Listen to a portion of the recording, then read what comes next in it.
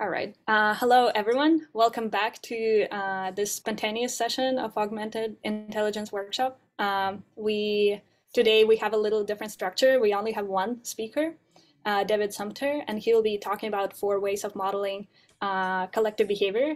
And then we'll have 20 to 30 minutes of uh, questions afterwards.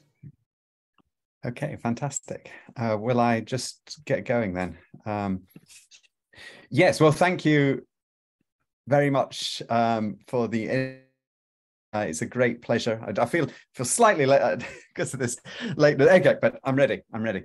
Um, thank you very much for the invitation. It's uh, really nice to come and talk to this, and it's a very nice format that we're going to have this that I'm going to present first, and then we're going to have a discussion. So what I've tried to do is give a sort of loose idea of something. So this whole idea I, I'm going to talk about with four different ways of modeling. I wouldn't say it's some sort of completely rigorous idea, but it's just something that I've been thinking about a lot. And I wanted to kind of test it out on you guys. Um, and we can have a discussion about it afterwards. But to just tell you first a little bit about my background. So I'm an applied mathematician and I kind of pride myself in applying mathematics to almost everything to do with, especially to do with behavior. Animal behavior was what I've worked with in many years. Um, I've written a paper with Rob collective on wisdom of the crowds and um, i've worked on human collective behavior as well and then in in more recent years i have also been working on the sport of football now that is soccer to you guys which i think is unlike the american version soccer is the most beautiful collective sport because it's very fluid.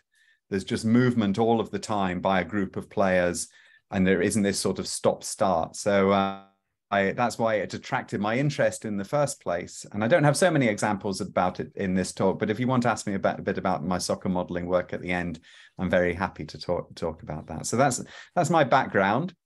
And what I'll do now is I'll I'll um, no, I'll do my talk. Um, Good. So here is what we've got. Four ways of modeling collective behavior. Okay, so what was the starting point? Well, the starting point is I you know about this. You can put your hands up or thumbs up if you've heard of this uh, book. Um, this is a book by Stephen Wolfram that actually came out about 20 years ago now. And it was started on work that he did even 20 years before that, so 40 years ago, looking at the properties of cellular automata. And what he did in this first paper he wrote on this is he he tried to categorize the world, uh, every system, as being of one of four different types. And the first one he has is sta stable. And an example of that, wait, I'm sorry, I'm just going to make you smaller there. Um, stable is an example of that is a damped pendulum. It's just swinging backwards and forwards and then it eventually comes to rest. A ball rolling down the hill does the same thing. Periodic systems, they're things like predator prey cycles, anything that goes round and round, neuronal firing. We're going to look at an example of that later. Then chaotic, uh, chaotic systems, well, they're things like the weather. We know that that's chaotic. Uh, insect populations, there was a lot of work on that in the 70s. Economics, we might think about. And then finally, complex, and that includes human behavior, society, organs in the body. Now, I'm not going to go too much into how you do these different classifications. Of course, it's by no means, and Wolfram doesn't argue himself that it's a solid um, basis for thing or it's, it's a, a completely fixed basis for everything. But he illustrates it nicely using four models, um, using these different, using these cellular automata models. Now, the cellular automata model does the following. So you have to think of a line like we have of black and white squares. And what we do is we apply a transition rule to these. So the rule says that if we have three black squares in the line above, we make it black. So you see here's a row of three black, so it comes black. If we have white, black, black, it goes to white. So here's white, black, black, it goes to white. Uh, white, white, black, white, white, black goes to black and we employ over a series of steps these rules and we look at the pattern which comes out of it. And his, his argument is, and it's true for elementary cellular automata of this type, is that there are these three types of patterns. So I haven't done a, a pattern of class one stable everything just goes black or it just goes white. But here's the class two example. It becomes this oscillating, almost checkable pattern of black and white if you use these rules. Here's an, and here's an example of class three. So same type of rules. We've got our black and white um, rules here, only eight, always eight rules.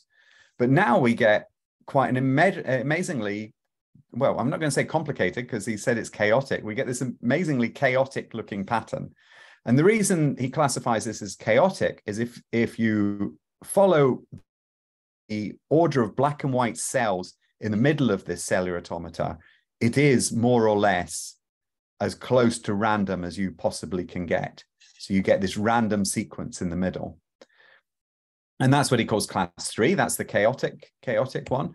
And then class four is another type that he found, and this is called Rule 110. And what it does is it produces these kind of structures. So if you look carefully here, you see this sort of like band moving very slowly to the left. And there's other bands which are moving more quickly to the right. And when they collide with each other, they change and they turn into other bands. And so here's a little bit further into this pattern. Again, we're just using simple transition rules, the ones that we set up at the start. But now there's a kind of sort of infinite zoo of different patterns that come out of this. There's these different um, bands. I think they've still failed to classify all the different structures that could come out of this, but there's these little bands and they some of them are stationary, some of them are moving, moving with different speeds. And when they crash into each other, they change and they they move into different directions. And so these patterns are what you might call complex patterns. Now, what I, I liked about this idea, I, I think another talk I might go a bit more into how it's applied in the physical world, but I wondered if we could actually apply it to the way that we do modeling. Now, I do all sorts of different types of modeling in my work, and I've found that basically when I approach a modeling problem, I can break them down into one of these four categories. So one is statistical, one is terms of interactions, one is chaotic, and one is complexity. So what I'm going to ask you now to do is indulge me a little while I give a few random examples of these, uh, these types of patterns. So let's start with the statistical one. This uh, was a big departure for me to do this modeling, but I became very interested in research to do with predicting personalities from Facebook likes. And this was actually, we're going to come to the Cambridge Analytica scandal. I'm going to tell you this is relevant to it. But this, I started being interested in this before the Cambridge Analytica scandal broke out, uh, because there was a paper written in 2015 by uh, Michael Kosinski. And what he did is he asked, he, he sent out, before, before Facebook had a lot of things you could do on it, he sent out a questionnaire on Facebook where he measured people's personalities in these five different standard categories. This is quite a, a reasonably good test of personality where you can cast, you do principal component analysis on the answers to these 100 questions and you can categorize people on scales of openness, neuroticism, agreeableness, extroversion, and conscientiousness. And so he sent out those these questionnaires and got loads of people to answer it. And then what he could do is he could correlate using a regression model the likes of people on Facebook, what they were liking on Facebook, and their personality. He put it all into a regression model, again, using some principal component analysis, and linked, made a link between these two things the things that they liked and the conscious conscientiousness, openness, and so on. Now, this is just it's quite funny because it's like um, just comes out with a sort of uh, list of prejudices basically and um, it finds that outgoing people where they like dancing theater and beer pong so this is the personality is outgoing the uh, dancing theater and beer pong is their um, their favorite things you all know what beer pong is i, I didn't know what beer pong was when i started uh, doing this but i think um, probably you've all played beer pong apparently at one time in your lives if you're Americans. And um, but shy people, as I say, very stereotyped here. They like anime, role-playing games, and Terry Pratchett books. Um, neurotic people, they like Kurt Cobain, emo music, and they say sometimes I hate myself. And finally, calm people apparently like skydiving, football, and business administration. The last one I understand, but skydiving being calm I've, i have not quite got but there seems to be a, a link between those those um, categories. And you don't have to like all of these at the same time. So you might just like skydiving and business administration um, and then that would show something towards being a calm person. Now what happened and i mentioned this already is that cambridge analytica picked up on this particular research project because what this person alexander nix said in particular was he said well i can identify all of the neurotic people in the united states of america and i'll be able to um, using this skill my using the fact that they're neurotic i'll be able to manipulate their voting patterns. So you can target neurotic people with messages like they should protect their fa- their family with a gun and those types of things will really work for them.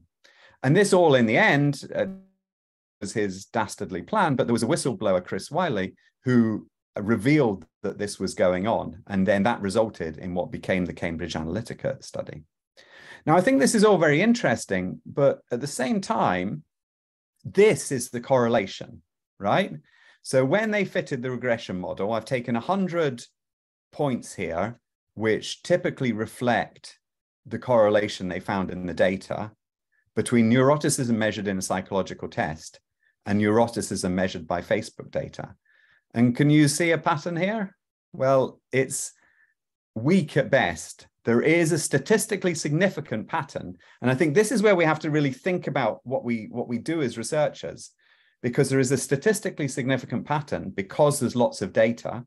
You can publish an article in PNAS on this, but I'm not sure you would rely on it to build a tool of the type that um, uh, um, Alexander Nix said he was going to do. So one measure you can do is, is uh, we can say if I if I pick two of you at random and I try, try to predict which of you is most neurotic and less neurotic um, using this method, I'll be right only 60% of the time. So there's a very low accuracy because 50-50, you're on randomness, you'll, you'll, you'll get that right, but I'll just be right 60% of the time. And also it kind of mixes up like Nirvana neurotic, which was in the data, with protect your family with a gun neurotic. Uh, uh, there isn't really a relationship between those two things. So I think a lot of the things that came up from the Cambridge Analytica uh, scandal was more about this AI snake oil stuff, where people say they can predict things about your life, but they're very limited about how they can predict things about your life. And this is true, I think, of many of the studies that we've seen. Maybe some of you are uh, familiar with this work on machine bias, where they showed that this was a racist algorithm classified, or there was a lot of argument backwards and forwards about if the algorithm was racist or not. That I don't really want to touch on. What I want to touch on is this work done by Julia Dressel, where she found, she looked into the commercial software that was being used for these classifications. And she found that this, this software, which was predicting if people would uh, do crimes or not in the future, it was no more accurate and fair than the predictions of people with little to criminal justice experience. And she did this by going onto Amazon Turk, getting people to predict if people with certain backgrounds they have a little description of the person. Did they commit crimes or not? And she found that they were just as able as any algorithm to make that guessing. And this, I think, is a general pattern. And I wrote about this in my book, Outnumbered. I've written other blog articles about this as well. That There's a kind of, um, there's a kind of like, sort of a limitation of when you do a regression model, it only picks out very weak patterns and often it doesn't pick out patterns that you wouldn't really be able to work out yourself to some degree. And so that's my kind of overall conclusion of this type of statistical modeling. So, okay, why am I bringing up all this? Well, I think that what this is, points to is statistical modeling is, is nice. It tells you a few sort of general patterns about the world, but it doesn't really get you into the details. It doesn't really sort of tell the truth about the interactions between people or the differences between people. And to do that, you need another type of modeling. And this is what I would call interactive modeling. Now, this is what I spent a lot of my research on collective animal behavior um, doing. I'm going to give one example from human behavior here. this is a crowd of undergraduate students. They have just, are they going to play in this video? No, they're not going to play in this video. Can just tell you about what's what's happened to these undergraduate students. They've just watched a seminar by a, a, their first year undergraduate students. They've just watched a seminar by a third year undergraduate student. And what we're doing is we're filming their applause after they have heard this talk. And what we found is if we looked at the change in their clapping over time, so this is time in seconds, this is from the first clap here, is the growth curve of this. You see that it grows up like this, and then eventually they stop clapping. We can look at this in a slightly different way. This is the time, or this is for each of the individuals, when was the first clap that they did. So this is the first clap by anybody. This is the second clap. Then there's a little gap here. Then everybody seems to start clapping. And then there's one person who took four seconds to, to start clapping a little bit after the other. We can also at how people stop clapping. So here is all of the claps that they did from the first person to stop, the second person to stop, and so on. And from this, you'll all be familiar from this. You might have these curves might look familiar to anyone who's who's recently lived through a pandemic. What we did is we thought, well, can we can we fit an SIR model to this data? So susceptible is people who might start clapping. Infectives are people who have are clapping, and recovereds are people who have recovered from clapping. These are the equations for for this. And if you know, if you if you have studied something to do with um, with uh, SIR models and disease models, you should notice there's a difference in this last term. So what we found modeled people stopping clapping is different from real diseases. It turns out that people also stop clapping on a social basis. So if, if I'm clapping along and the person next to me is clapping along, when I see people around me stopping clapping, then I also recover from clapping. So there's a kind of social recovery, which is reflected in this term. And so we could model this, and the left is the data that we collected, the right is um, a model where we, we fitted various models and we found this social recovery both the there was both a social start to clapping and then there was a social recovery to clapping one interesting thing we found because of this so if you think about like at the end of a end of a talk when people do do an applause, not in this one, of course, because we're on Zoom, but in, in a real life, when um, if they go on clapping for a long period, it might not be because they're actually appreciating your talk very much. It might just be because they can't quite manage to coordinate the stop of their clapping. So um, that's something to think about when you get a particularly long, well, maybe it's a depressing thing about if you get particularly long applause.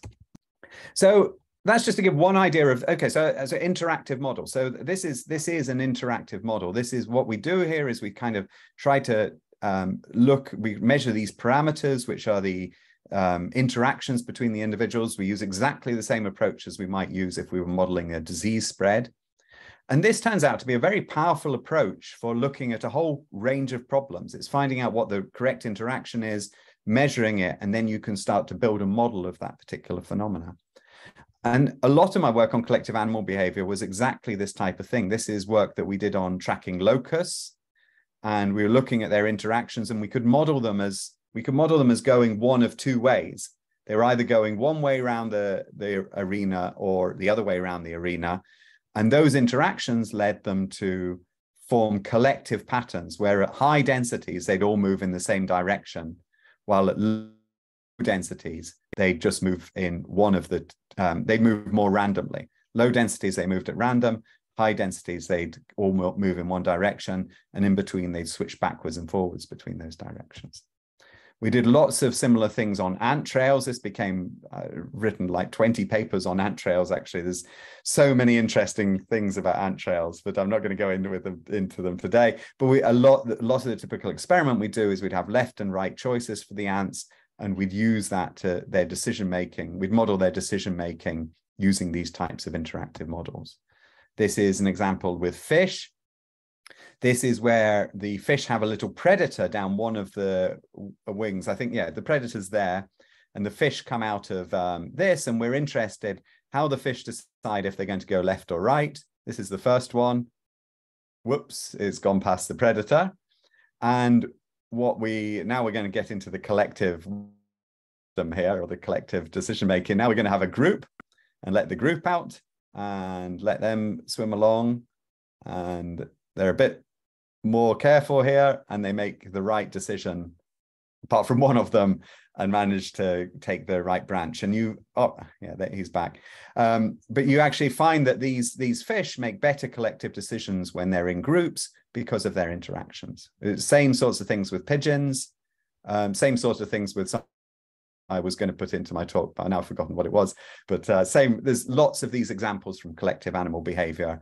The pigeon homing one, we were um, we were looking at how pairs of pigeons fly home, whether one leads and one follows, whether they take some sort of compromise, and we could use these types of interactive models to answer those kinds of questions. And I wanted to, um, so so okay, so interact. That sounds great. So we've got the interaction idea. Now we can maybe solve all the problems in the world. Well, it turns out that doesn't quite work because we have to remember there's chaos, and chaos arises quite easily in models and it arises quite easily in real life. And this example here I'm going to give um, is, is going to illustrate one example of this. This is data from a fish. This is a single fish that is swimming along and you see it does this burst and glide motion. So we're measuring its speed over time, burst, glide, burst, glide, burst, glide, burst, glide. And one fish will do that type of motion. When you have two fish, this is shown here. This is the velocity of the fish dependent, or the speed of the fish dependent on the distance to uh, its nearest neighbor. There's two fish in this experiment, and you see that they speed up when someone, when they've got a fish in front of them, and they also speed up when they've got a fish behind them. This is just two different types of fish rather than uh, rather than any difference. So fish speed up when they've got a fish behind them. Distance between the fish, speed that they go at. So we've got these two observations. They seem quite innocuous observations. And what we'd like to do is we'd like to build a model for the interaction of these two fish. Um, and the model we started with when we did this was the FitzHugh-Nagumo model, which is a model of neuronal firing. So we wanted to, we of course, we, we're not looking exactly what goes on in the fish's brain, but we have some kind of rough idea. And what we wanted to do is capture what goes on in the fish's brain in terms of this classical model where you've got a potential difference, which is V, and you've got some sort of chemical signal, which is W. You, you model the interactions of them and you get these firing spikes. And we built that into a fish model. I'm certainly not going to go into all the equations here, but we use the same sorts of terms here, but instead of a chemical um, component, we just have the velocity of the two fish, and we have a function which connects them together based on the distance between the fish. Um, and yeah, again, in another talk, I might go into all of the details of this, but basically we've got a model where you, you this fish will respond to other fish going in front of it. And what's kind of cool and interesting about these types of is they produce a whole range of different types of dynamics.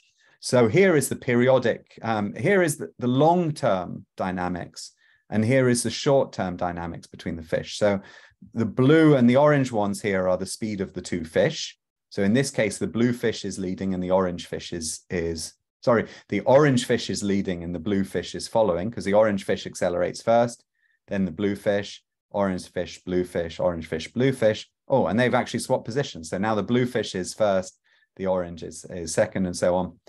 And in this particular case, they basically take turns, six times accelerating, um, six times one fish, six times the other fish, six times one fish, six times the other fish, and they have periodic leadership switching.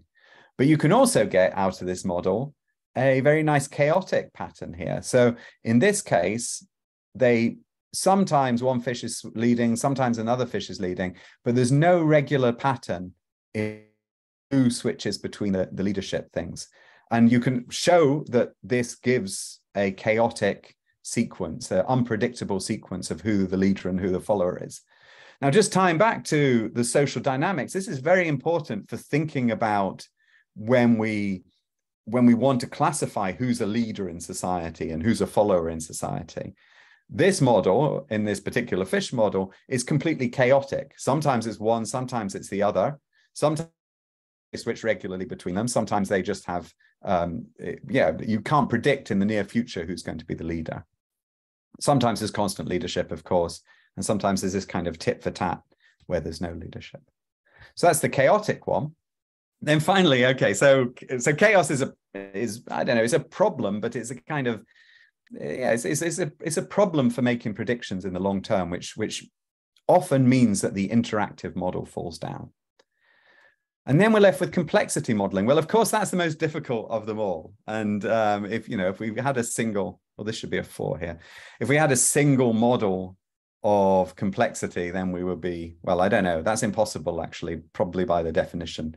But uh, we don't have a single model. So what we're left with instead is a whole kind of bunch of interesting models where we simulate stuff. And this is from a few years ago from one of my PhD students, Daniel Strömbom. And what Daniel did is he set up a model of um, this is a model that's just based on animals being attracted to each other in three dimensions. And they have a blind angle behind them, so they can't see behind them. And again, you can see all these different types of beautiful, complex shapes that arise out of these, these uh, rules. Sometimes you get a long string, which you often see in, in bird flocks. Sometimes you get a mill where you see fish going round. This is a shape that kind of twists and turns very like a starling flock. Here's a flying crystal where everybody seems to be going in the same um, way. And you really do get complexity. I mean, what you would genuinely call complexity out of these simple rules. And he's made a phase diagram here of the different different types of patterns. He found in total eight different classes of patterns that came out of this system. Um, this is another example where we looked now again at ants. This is something that I'm going to start working on again because I, I, am often going back to this model, but it's a beautiful model um, called current reinforcement. And the idea here is that you have an ant nest at one end and you have some food at the other end. And in this particular simulation, I'll show it again, we close off the gates here and we have a gate in the middle. And you see that the ants reorganize to find the shortest path between them. And they do this just using what we call current reinforcement. So the current, the flow on any particular edge leads to an increase in the flow.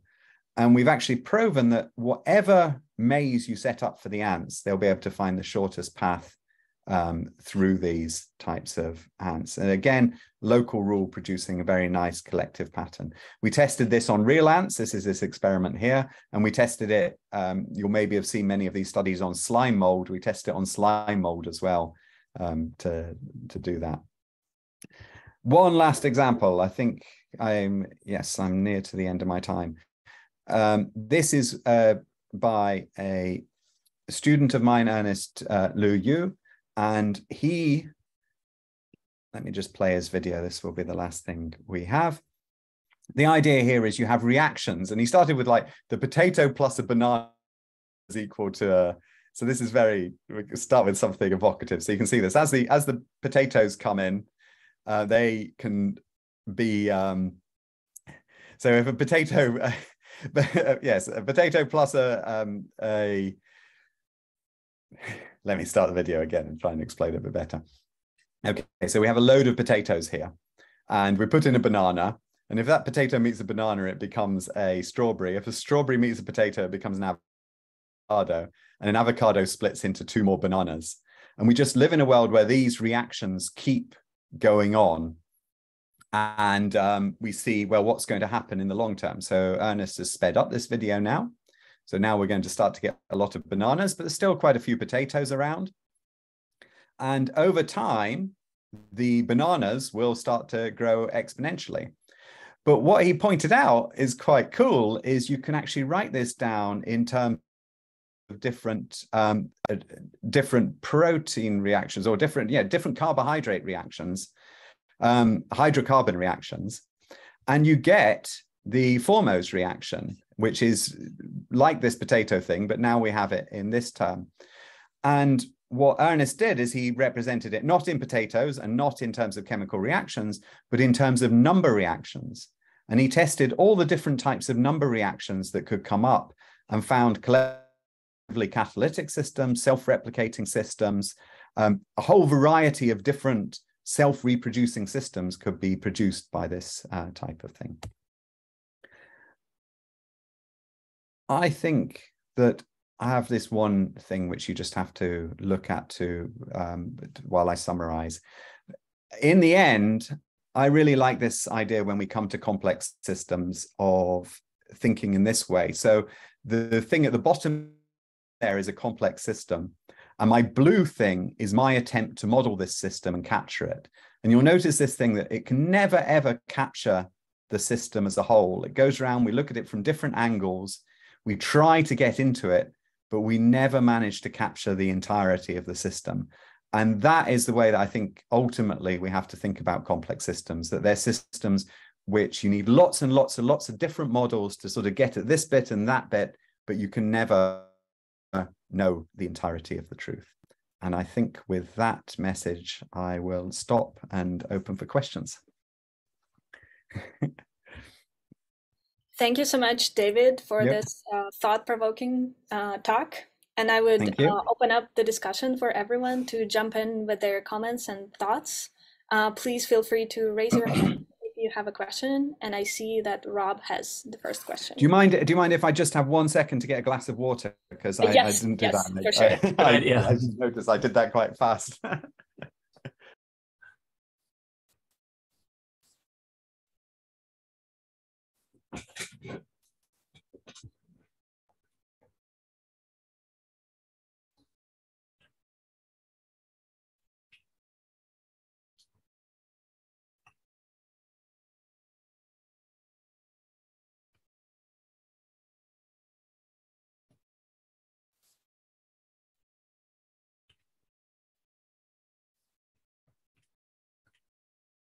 Good. Now I'm ready.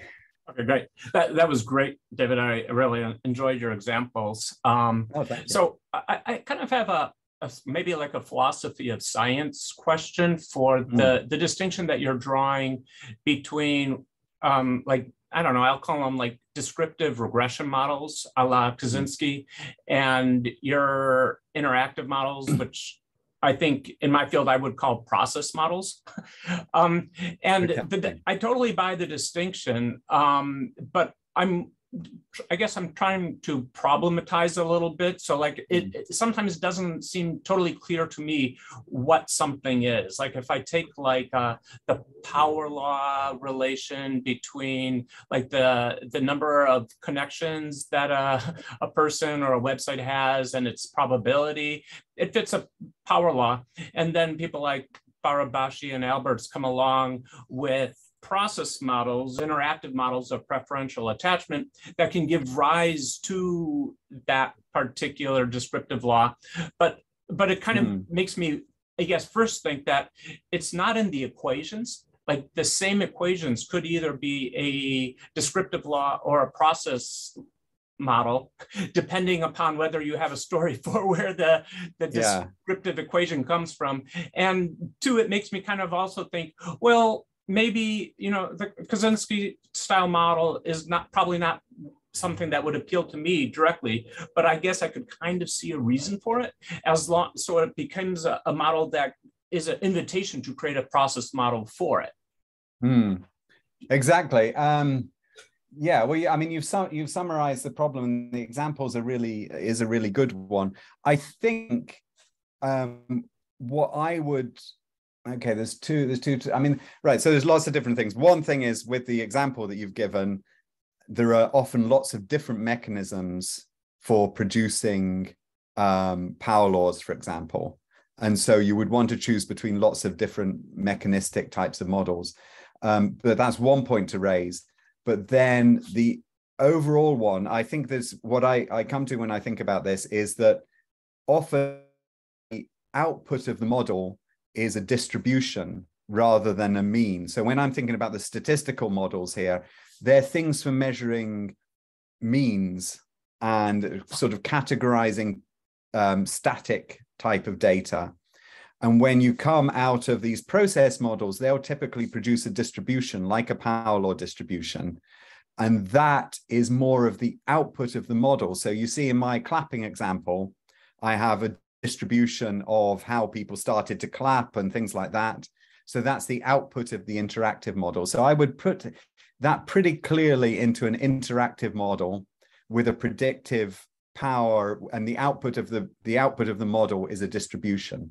So the output of models tend to either be a distribution or a kind of time series thing. And in your particular case, that's a distribution. So it's very much an interactive model for me, that one.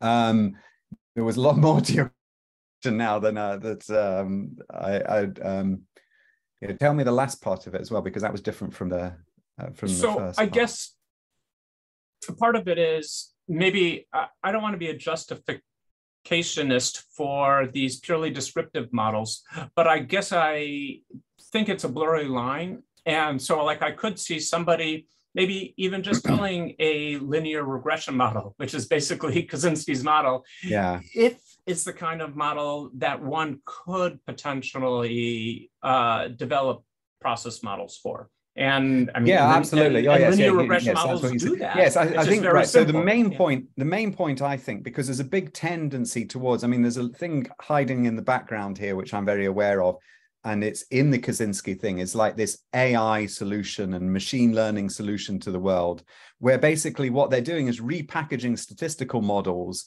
as some sort of amazing magic. And that's definitely Kosinski did that. He's really explicitly did that, and that's where what caused the problems because then it was then repackaged as Cambridge Analytica as magic. So that's what I think is a. So I, I'm very much arguing for.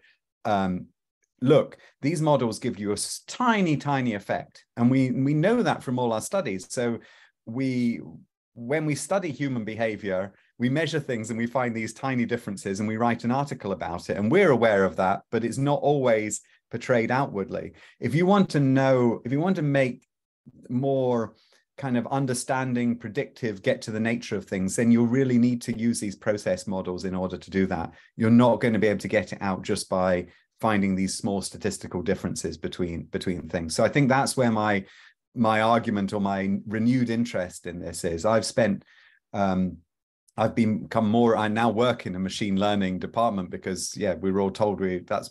I was told that's what. Apparently, so uh, that's what that's the development here. But I've really got a reaction against that in terms of it's just basically it, we already knew from statistics that these give weak relationships. It's not going to matter if you call it machine learning. All right, uh, it seems like I'm next. Uh, so uh, it was very interesting to me that you uh, were talking about these four Wolfram classes of behavior stable, Hmm. periodic, chaotic, and complex. And it seemed like originally uh, like you were trying to link them to four different types of modeling. But then you Yeah. also presented some models that seem to capture several different patterns, uh, such as in your fish example, I thought. So the model that could give rise to maybe three or four of these types of behavior.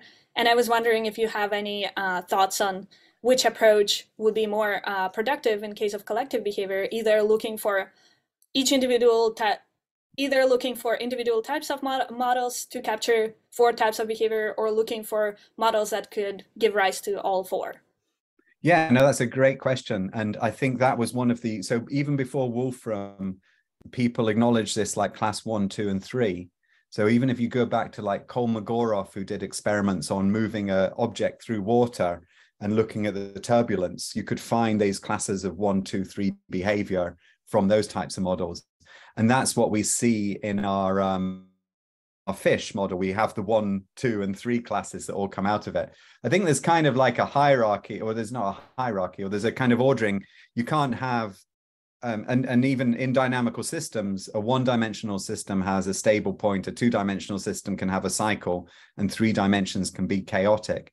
And so there is this kind of ordering that if you have a chaotic pattern, you can probably manage to produce a stable or a periodic pattern from those equations. Not always you know most of the time um so yes there's definitely that is there and, and i suppose yeah because in a way what i said at first was stable um stable and statistical don't quite work together but it is kind of like this you know there's just this mean there's this mean describing the average behavior and that's the sort of stable background noise of everything and then the interactive one the reason i called it interactive is yeah, I don't know. I think it's because I wanted to sort of capture this idea of the processes um, that Rob was mentioning as well. That it's not just it's not just about finding a periodic pattern. It's about modeling these interactions. And as you say, it becomes problematic then because my interactive model is then used to produce my chaotic example. So it it certainly it goes in that direction. So I think I'm just really reiterating what you said. It was yeah, it's a good point.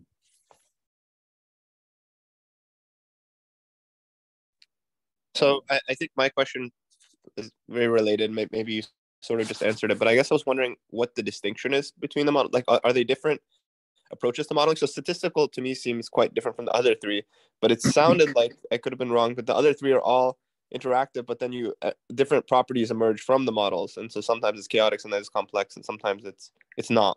Is that is that correct, or or are there actually different? Yeah, approaches? I think it is a correct. It, it is correct, and um, I think that is actually similar to Marina's point, maybe that um, maybe that naming isn't maybe i should just stick to the periodic for the second type of one. But i think i think okay i think the difference is this is if you've got two things right? If you've got two things which are interacting and i suppose the fish have yeah you have two things which are interacting you'll only get periodic behavior. Then the question is well you only had two fish didn't you david? But actually i had the neurons in the fish as well. So i had two fish and their neurons and that became a chaotic model.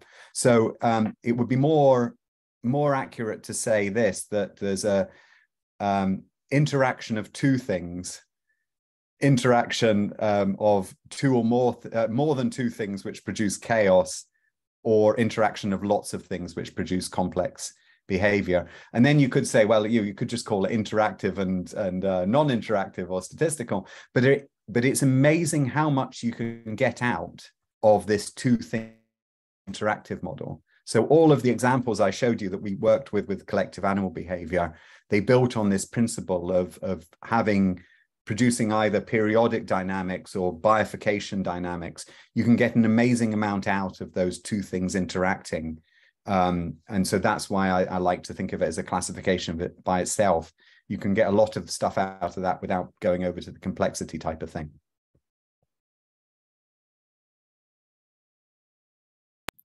Great. Uh, do people have any other thoughts related or unrelated? Any other questions? Well, I do have the question that I guess Tony and I were talking about in the chat, but um, is there like a, a, a, better formal mathematical way of defining random for Wolfram's class three phenomenon? Because obviously it's extremely predictable if that's what one means by random from the yeah. from the rule that generated it. So i just am a little bit worried that it's like just kind of subjective. It depends upon the patterns that people can no that's that's a really good question. So a mathematician would not call that random that output. Um, it's a computer so there's become this word pseudo random um, which describes the output of this. Because if you think about the number ra- the random number generator on your computer well some of them are, are actually based on the wolfram thing but there is is just modular arithmetic. So you just um, take a number take the mod of it multiply it and just keep doing that in various so, sort of cycles. And so that's producing the random numbers on your computer. So it's as random as the output of those types of number ra- random number generators. But then there becomes these incredibly interesting questions to do with now i'm going to go back to kolmogorov as well but there's comes these really incredible, interesting questions to do with um, complexity and randomness. Because what Kolmogorov was, if you took a string, you for you can find very very long strings of zeros and ones, and as you get to very long strings, nearly all of those strings are random in the sense that there's no predictable pattern in the zeros and ones. So as you get very long, nearly everything is random. And that's what he defined as complexity. So, complexity of a string is the shortest possible description of string. So, the complexity of the string produced by the cellular automata um, is very, very low because I told you the rules for it. but the complexity of very long strings, if you just, uh, for most of the strings that are very long, is very high. And what makes this even more difficult is that now his definition of complexity is actually the definition of randomness. And so that makes it, that makes this whole question um, uh, yeah, that, that makes it less clear as well because I want complexity to be something different. And I think we want, we, most of us want complexity to be something different. We don't want complexity just to be a, you know, randomly constructed string. We want complexity to be these types of patterns. So in the end, there is actually no mathematical definition of complexity that's satisfactory. There's just this, this one that Kolmogorov has, which is basically it's random. So there's lots of different uh, definitions of randomness which do put together answer your your concerns but there's ultimately no definition of complexity it, in part of this is there a like a, a kind of a strong claim that there is no other mathematical formalization which would produce the same sequence like down the middle the middle column of a cellular automata as the the rule that produced it uh, that, no, there's I mean, not really that claim. This this claim is more to do with um, it just says of all the long strings. So if you take a string that is, um, I don't know, 200 billion, billion, billion, billion, and you took that string and you said, is that string random? The answer is always yes. And that's that's the result from Kolmogorov. And uh, and um, in the, and can I can I find an algorithm which produces that string? The answer is no. You can't find it produces the length of that string. It's it's just going to be the absolute longest string. Uh, it's going to be an absolutely random string. Can but see in your face. If there is another algorithm, if there's another algorithm that produces the same or correlated output to the rule that generated it, then isn't that alternative algorithm uh, no, but, but the rule I generated, I generated this string. I just picked, I, I said, you know, I've got these zillions and zillions of strings, and I'm going to take one of them, and I'm going to say, can I find an algorithm which reproduces it, like a short algorithm which just produces that string? And the answer is no. Um, with a very high probability, this string that I've chosen will not be reproducible by a sim- simple algorithm. And that's just because you run out of things to you run out of stuff, right? So you're going to have an algorithm. So the, you've got a cellular automata which produces a stri- this particular string, and that's nice. But you run out of ways of generating strings faster than um, you can. All of these strings appear as you as you allow different variations of zeros and ones in a string. okay.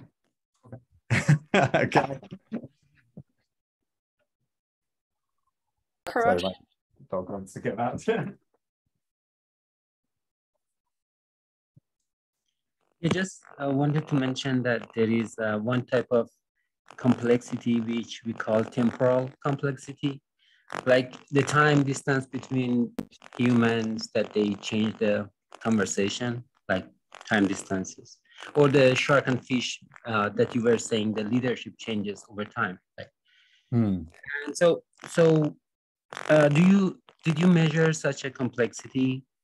Uh, like, what is the distribution of those times of exchanging the leadership, for example, or so um, for um, we well we, we I mean we measured it inside the model um, and we've done some experiments on these. Uh, with the fish, it's very difficult to get them in very long periods and it depends on the types of fish but we do we yeah we, have measured measured some of these things like how long it takes um, fish to change their leadership uh, but it really depends on the context actually but they they just swim around all the time changing leaderships i think i think the, the maybe the thing is it doesn't tend to be a particularly interesting question in the context of fish swimming around in a circle who changes the leadership there are some experiments what we do think is that our our experiments call into question a lot of the game theoretic analysis of the same thing. So there was a whole load of studies in the 90s where they looked at fish swimming up a channel and doing this kind of like tit for tat behavior, they called it. And I think also the experiment I showed with the, the group of fish all swimming together, I think that that really wasn't true that there was a game theoretic thing in this tit for tat. It's just how fish swim together. They use each other's collective, they, they use this sort of in collective intelligence to make better decisions rather than having some kind of who's going to go first nearest to the predator idea. So that's right. where that type of switching has been measured and it has been useful. Yeah, so like for the surrogate data that you get from modeling, like swarm uh, of fish that you showed, what about those data? Could you, did you even try to see is there any complexity? Yeah, so um, I mean, what we did is we looked at um, seeing if if this is it here, so I can just show you. Um, so this is from Linnea Gyllingberg's um,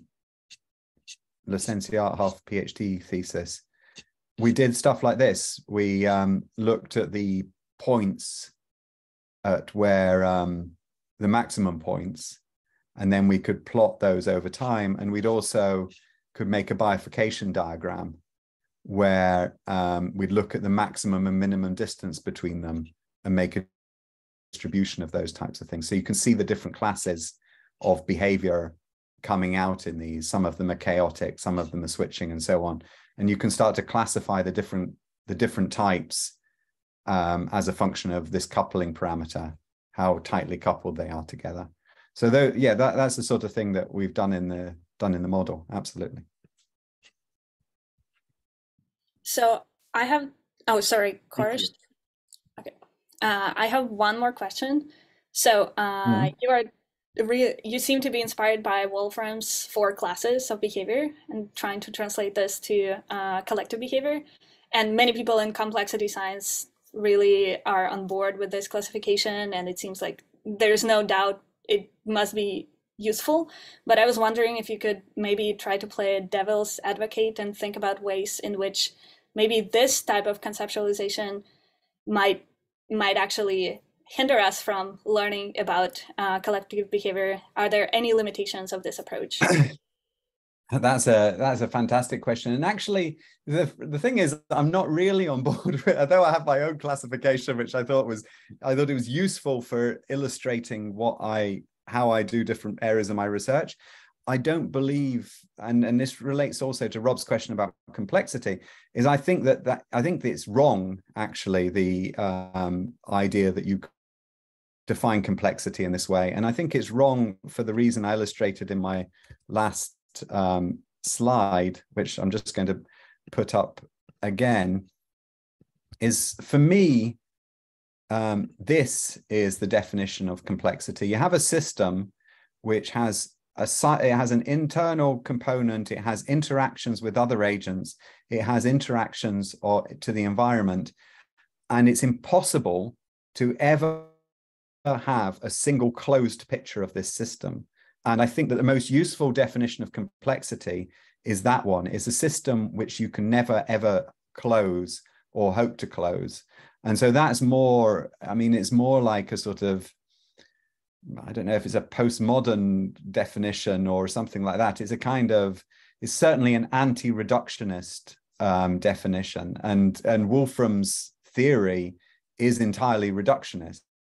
It's the idea that you have a single equation which defines the entire complexity of the universe. And I think that that's just nonsense. There's no evidence for that whatsoever. And it's just total rubbish. So um, so yeah, so now I've really criticized his uh, his thing. I mean, I think I think it's it's in that literal sense, and I think that he does seem to take it literally. Um, it's it's nonsense, but in terms of a practical sense for modeling systems, it can be a very useful way of seeing things. Excellent answer. Thank you so much. And this seems like a natural point to end the discussion. Uh, thanks again, David, for being here. Thanks everyone for waiting and for uh, for this uh, really great discussion. And I would want to invite everyone for our next week's session where we will hear from Celia Hayes and Jeremy Bailenson, and we'll make sure they are uh, all aware of the time switches that will be happening in next uh, next week as well. So thanks everyone. Thank you. I really enjoyed that. Thank you. Bye bye. Thanks, David. That was that was great. Um, and I'm impressed by your poise in presenting. Um, yeah, because to me.